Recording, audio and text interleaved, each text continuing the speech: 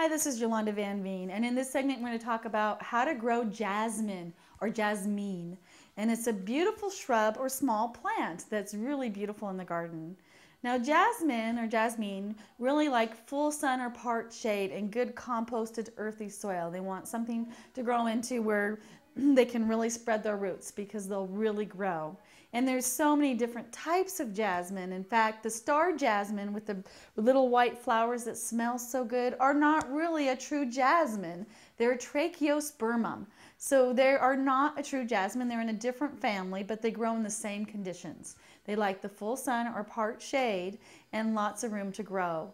And a lot of jasmines will grow right against a house in a cold climate and they'll survive colder winters than you think they will. I've been amazed in the Northwest how many jasmines will live just with a little bit of protection. So when you're growing them too, they make vines and they'll just kind of grow everywhere. So the trick is just to trim them back about one third every year and just make them a little evener and that way they won't be so lanky and such like a Medusa. And give them something to grab onto because they do like to grab onto anything in a wall or anything like that. But be careful, don't let them grow up against the house where they're going to get into the wood of your house because eventually they will eat the wood away. So make sure whenever you grow them that they're not actually touching the house and that you're constantly cutting them back so that they're not doing damage.